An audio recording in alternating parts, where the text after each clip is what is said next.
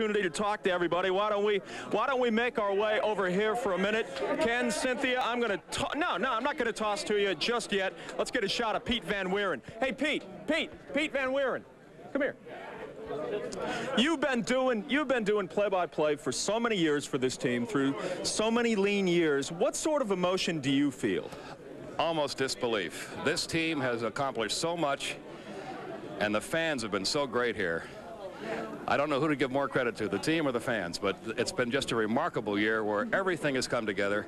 And this is so much better than 1982 when everything happened early in the year. How so? Because of the nature of how they came back post All-Star break? Yes, because of the way they played the second half, because of the way they overcame adversity all year. Injuries to Bream and Justice, the Otis Nixon situation. Anytime something bad happened, this team rebounded immediately. And uh, I've never seen a team with as much focus on winning every day as this team has, and still has. It's just been a remarkable year. Well, Pete, I know everybody who follows the Braves appreciates what you have done over the years, and particularly your great work this season. Well, Thanks thank you very much, Jeff. Thanks, Peter. Hey, Jeff Blauser. It's got to feel good, right? You guys are a little bit low-key. We've, we've talked about Thanks, this over the past few minutes. Uh, it's been the story of the season all year. Nobody gets too high, nobody gets too low. I think uh, all that stuff that about being low-key kind of went out the window today after we won that ball game. But uh, I think it boils down to a matter of confidence. We know we're a good ball club, and we know we deserve to be here, and we just let things take care of themselves. We uh, talked with Pete a moment about, you know, all of the adversity that you guys have been through in this marvelous season, and whoever has been called upon, be it Frankie Cabrera, be it you, uh, be it Terry Pendleton, there's always been the clutch hit, the clutch play, the, the unforeseen, if you will. Well, I think what that boils down to, the team has always been prepared, and everybody wanted to be in the situation to get the big hit or make the big play, and it's uh, it's just been, uh, in a nutshell, it's been a magical year for us, and there's no other way to put it. We've had a lot of luck, and we've played well throughout the throughout the season, and we're just happy to be here right now. One game that you remember more than any other? Uh, today. Today? Is that the most memorable? opportunity I've ever had to be in a, a situation like this, but this is the best. This is what it's all about. This is like Christmas for us. Jeff, thanks a lot. We appreciate it. We'll see you in Pittsburgh. Hey, Mark Wohlers. Uh, uh, come on over.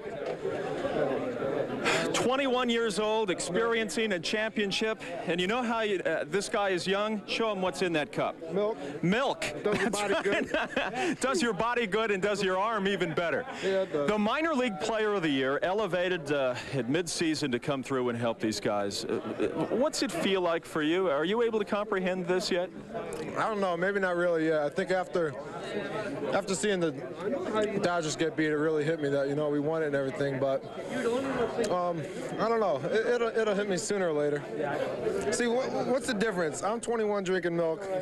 I don't think that's not milk. That's milk. That's milk. milk, trust me. Kent Mercker joins us. Guys, the bullpen has been a question that, that you know, that was a big one. A, a large portion of the year and coming into the season as well. Baby stuff. We saw one 21-year-old's drink. Let's see what's in this one. Yeah, that's milk too. That's right. That's that. It's that two percent stuff. Hey, there we are. David, let's see these hats. These hats are good-looking ones, aren't they? Oh yeah. You know, when Special that- design. Hat looks good on me. It's a good looking hat. So I was going to get on TV till you came around. No, that's okay. You do the interview right now. Any questions you want to ask of him, David? Go ahead. I'll, I'll sort of Ken, uh, you, overlook you. You're probably one of the most dominant left-handed relievers in the game. And uh, how does it feel to be such a great pitcher? Uh, well, feels good. Feels good. Uh, I tell you what, anyway, we have two of the best young pitchers in baseball Oh, right now. on. And the best Steve right Avery ever. and Steve Avery and Kent Mercker. mashed Keep rooting for us. gravy, We're going to baby. go all the way think and stay with us forever. That's where we are. Oh yeah, they're left-handed too, throwing gas. I, I'm just happy to be playing with them because I could never hit these two. Listen, do I have to give you any sort of talent fee for doing this, or do you do this for free? No, you got to pay me. eh? Hey, Uh, hang on a second. gonna pay me Here. for Hang this. on a second. Let me let me think what that interview right, is worth. I've me got uh, I've got about 18 cents. right, That's okay. it. David, thanks a lot.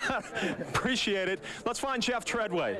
Kent, we didn't talk to you long enough. So hang around. Stay with us for a while. You interview me then. Jeffrey, Jeffrey, how how great this has to be for you. And I think about all the things that you've been through as an Atlanta Brave. Is it a feeling of relief? Yeah, most definitely. I mean, it's been the last the last few years just been uh, hard, and uh, you know I've watched the Braves from, for so many for so many years, and uh, Yeah, as a kid going at the University of Georgia, I mean, you, you followed him through a, a lot of years that were not necessarily great. The, sandwich almost took a dip there. I think we're going to give the uh, sandwich his standing eight count.